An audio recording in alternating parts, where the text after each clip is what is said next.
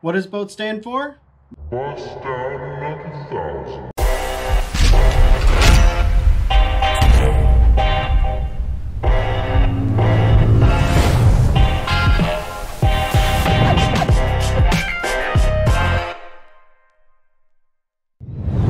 What's up everyone and welcome back to another episode of Project Complete. Today I'm going to be working on this trim tilt system. So today's video is all about helping you save a little bit of money on your boat expenses. This boat in particular behind me is a 1978 Glastron tri-hull with a two-stroke four-cylinder carbureted motor. This boat was actually given to me by my grandpa who passed away a couple years but he lived in Arizona and it was always garaged and it was always in dry heat. So that's just one of the reasons why it's in such good condition. But I've been having a problem with automatic trim tilt system. It's been kind of gurgling. It felt like there was air in the system.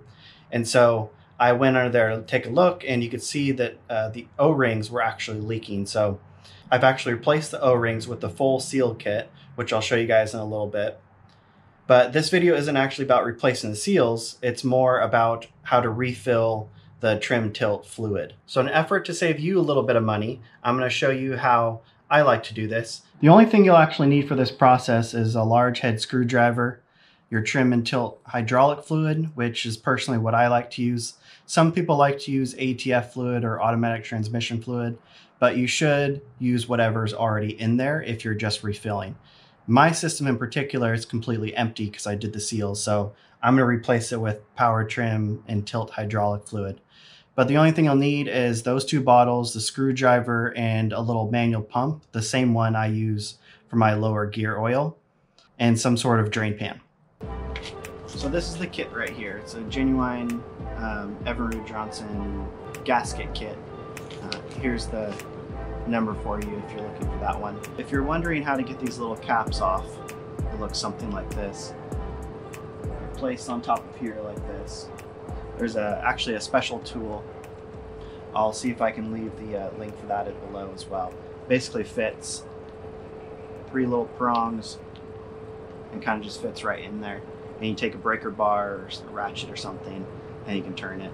Uh, a few good turns with this, you should be able to get the rest by hand as long as it's not all corroded or rusted over or anything like that. So um, this tool is it's specific to it. So if you plan on replacing these trim and tilt seals, you'll need one of these. So a quick tip for you guys, if your motor's ever stuck in an up or down position, there's a little manual release um, valve, which is actually located right on the side over here. It's a flathead screwdriver. Um, you'll just turn it to loosen it counterclockwise, you loosen it, and then you should be able to manually raise and lower the motor. So because this trim tilt system is actually in the process of being serviced by me, um, you can see all the pistons are out. I've replaced all the O-rings, and this is your actually reservoir fill screw right here. Not all of them are the same, some of them are in different spots, so it might be worth uh, looking them up online and trying to find the manual as far as where the fill screw is, but um, this trim tilt system seems to be pretty common. So, but this is your fill, and this is your manual release over here. So now that I have the piston sleeves back in, I'm going to fill up these reservoirs just as much as possible. If you want to be real accurate, you could take something like a level and try and get this piston right here about as plumb as possible. It does matter whether or not this reservoir is plumb, but you know, a little bit out either way is all right.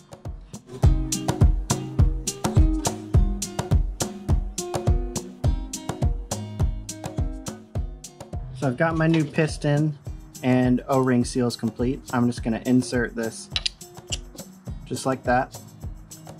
And you will meet a little bit of resistance because there's pressure in the system so.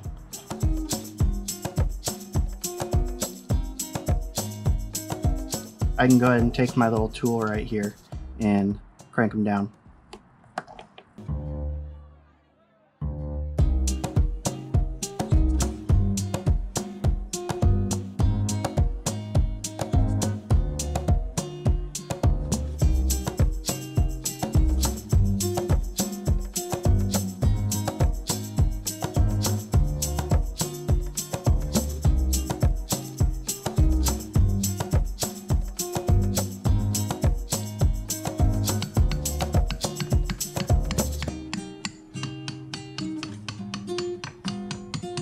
So now it's time to fill. I got my little manual pump right here, which I'll leave in the description for you, and my trim tilt power fluid. I got a couple bottles of this.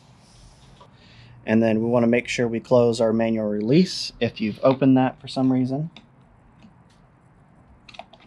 And you want to try and take as big of a screwdriver as possible.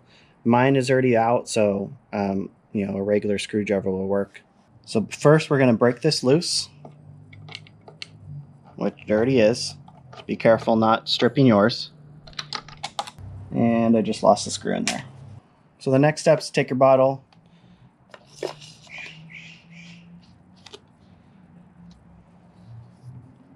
Now this little manual pump has threads on it for the lower trim, uh, the lower gear unit. So I don't want to screw it in this thread because I don't want to pressurize the system. I just want to get it in there. So I'm just going to kind of hold it there. And you know it's full the first time when it starts to spill at the bottom. So that's your level indicator.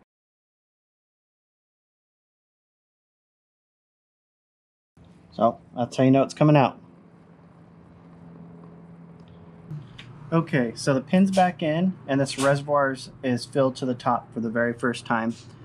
So essentially what we're going to do is using the hydraulic trim button, we're going to lower the motor, wait for a couple minutes, let some air start bleeding out into this reservoir, and then we're going to raise the motor and then refill up to the top line and we're going to repeat that process several times. So there are two reasons how you know it's filled.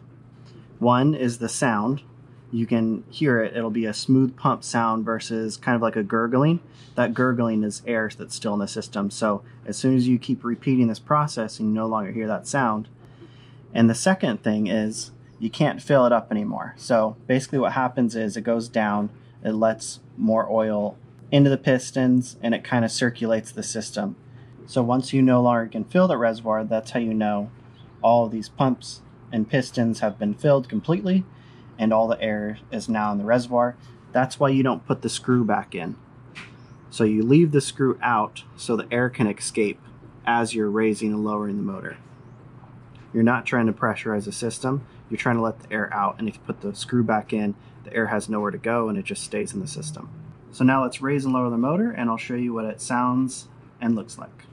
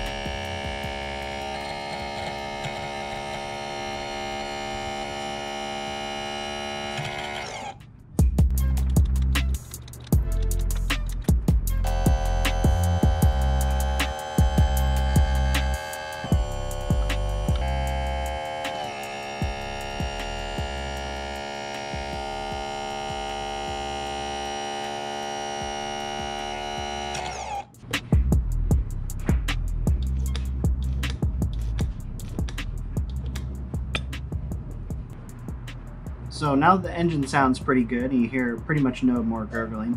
And put, make sure we top it off and put our reservoir screw back in.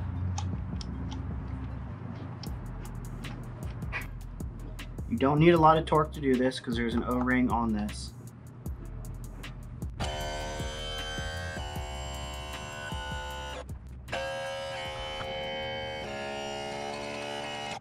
So I really appreciate you guys for checking out this video and taking the time to watch it. If you can, please hit that subscribe button. We're a small little channel and it really helps us grow. Also, down below right here, there's my Instagram, so if you guys want to give us a follow on Instagram and get updates before the actual video comes out, and some other neat things that I don't always film, that would be very helpful too as well. Also, give it a thumbs up for me, and if you guys have any comments or any questions, feel free to put them down in the comment section. I'll try and answer them for you. But thank you guys for watching.